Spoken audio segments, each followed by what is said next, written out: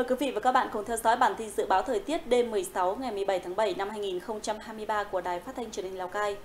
Thưa quý vị và các bạn, thông tin từ Trung tâm Dự báo Khí tượng Thủy văn tỉnh Lào Cai cho biết, Lào Cai đang chịu ảnh hưởng của rãnh áp thấp có trục qua Bắc Bộ, kết hợp rìa xa phía Tây, nên thời tiết các khu vực trong tỉnh mây thay đổi, đêm không mưa, ngày trời nắng, vùng thấp nắng nóng, vùng cao đêm về sáng trời lạnh, có nơi trời rét. Đêm nay và ngày mai, các khu vực vùng thấp của tỉnh sẽ xảy ra nắng nóng trên diện rộng, có nơi nắng nóng gay gắt với nhiệt độ cao nhất phổ biến 35 đến 37 độ C, có nơi trên 38 độ C, độ ẩm tương đối thấp từ 55 đến 60%. Do ảnh hưởng của nắng nóng và nắng nóng gay gắt kết hợp với độ ẩm trong không khí giảm nên có nguy cơ xảy ra cháy nổ và hỏa hoạn ở khu vực dân cư do nhu cầu sử dụng điện tăng cao và nguy cơ cháy rừng. Ngoài ra, nắng nóng còn có thể gây tình trạng mất nước kiệt sức đột quỵ do sốc nhiệt đối với cơ thể người khi tiếp xúc lâu với nền nhiệt độ cao. Sau đây là dự báo chi tiết cho các địa phương trong tỉnh đêm nay và ngày mai.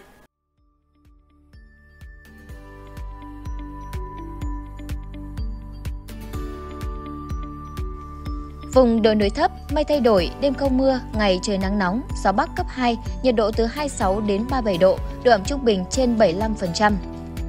Vùng đồi núi cao, mây thay đổi, đêm không mưa, trưa chiều trời nắng, gió Tây Nam cấp 2, đêm về sáng trời lạnh, nhiệt độ từ 22 đến 30 độ, độ ẩm trung bình trên 80%. Thành phố Lào Cai, mây thay đổi, đêm không mưa, ngày trời nắng nóng, gió Bắc cấp 2, nhiệt độ từ 26 đến 37 độ, độ ẩm trung bình trên 75%. Khu du lịch Sapa, mây thay đổi, đêm không mưa, ngày trời nắng, gió Tây cấp 2, đêm về sáng trời rét, nhiệt độ từ 19 đến 25 độ, độ ẩm trung bình trên 75%.